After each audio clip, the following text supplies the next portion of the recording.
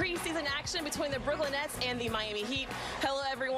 I am Meghan Triplett. An exciting storyline going into the night is Joe Harris.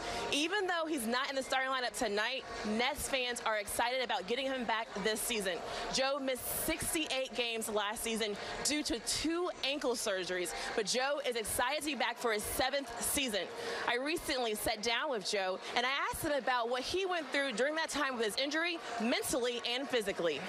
Uh, yeah, I mean, it's a difficult time. I think a lot of guys that play um, for a while, or just athletes in general, you know, it's something that a lot of us experience um, where, you know, there is moments of adversity where you have to deal with uh, difficult injuries that require uh, longer rehabs. And I think, you know, for me, I still tried to stay as engaged as I could with the team, even though I knew that I wasn't going to be able to play. Um, but I still wanted to just be around the guys, um, offer input when I could, and just kind of, you know, be around um, the group and experiencing that.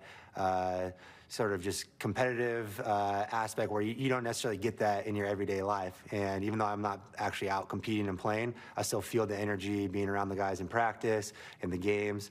And, uh, you know, that was really the only thing that kind of kept me sane during that time of being out. And you said this is going to be your seventh season with the Brooklyn Nets.